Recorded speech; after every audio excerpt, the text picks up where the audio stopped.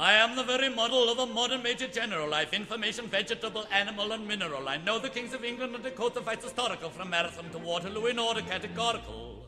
I am very well acquainted too with matters mathematical. I understand equations both the simple and quadratical. About binomial theorem, I am teeming with a lot of news.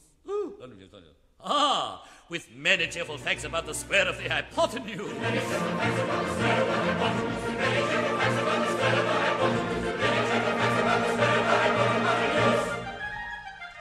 I am very good at integral and differential calculus. I know the scientific names of beings and animalculous. In short, in matters vegetable, animal, and mineral, I am the very model of a modern major general.